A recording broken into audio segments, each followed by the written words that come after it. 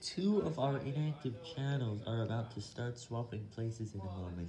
This is because Nile Red has 4 million subscribers and Joe Jenkins has 3.99 million. That means they're in the wrong place, and they need to change places in a while. Although there are some other ones about to swap, I think these two are the most confusing case right now.